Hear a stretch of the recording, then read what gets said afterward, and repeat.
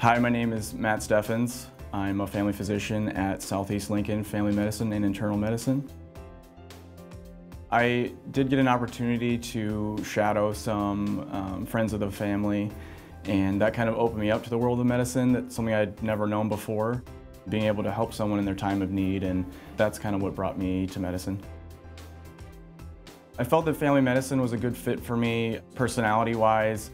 I tended to spend more time with patients, get to know them really well, kind of establish that relationship um, for uh, providing care and, and kind of really getting a sense of who the person is and what they would prefer as far as care.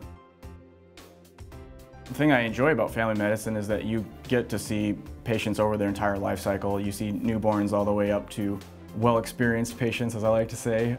It's really a collaborative effort between uh, the doctor and the patient, um, using what I, what I know and, and how I can help them and, and kind of deciding what's best for them. That's kind of the approach I take.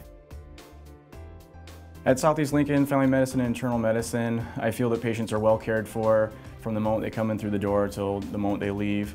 Um, we have a lot of caring and dedicated staff that um, really listen to patients and kind of figure out how we can best help them. We have a dedicated lab and x-ray and procedure rooms there, so that makes it a lot easier to help us treat our patients and uh, provide the care that they need.